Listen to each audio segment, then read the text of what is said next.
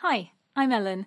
In this video, I'm going to talk about some general features of academic writing that you need to be familiar with if you want to succeed in your own writing at university. First of all, you need to consider that writing is communicative. In all forms of communication, there is a sender who transmits a message to a receiver. In academic writing, that message will be a fact based argument, and in order to successfully deliver this, you need to know who you're writing for and what you can expect your target reader to already know. In other words, identifying your audience is crucial. Another central feature of academic writing is that it's objective, which means you should avoid biased language and generalizations, and that you shouldn't bring in your personal preconceptions or opinions.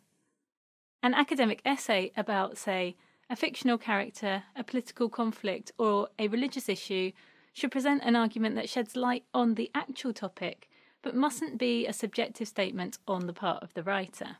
Academic writing is a formal genre, and you are expected to use a rather strict register and format. This can be a challenge, especially for non native writers, as different levels of formality might be difficult to recognise in a second language. Remember, the question of style and register in writing is not necessarily a difference between what is right or wrong language wise, but rather specifies what is the preferred style for a specific occasion.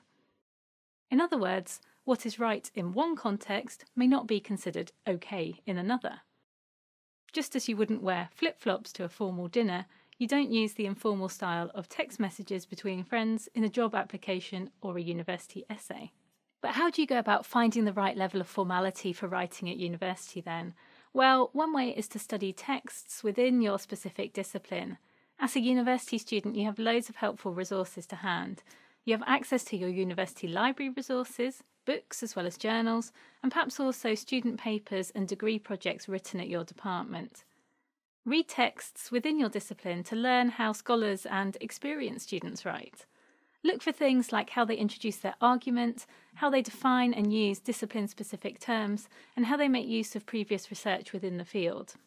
The last thing I'd like to raise here is the fact that writing practices do vary from one academic discipline to the next. This means that you need to learn what is expected of you for the particular text that you are writing. An article in physics looks very different from one in history, for instance.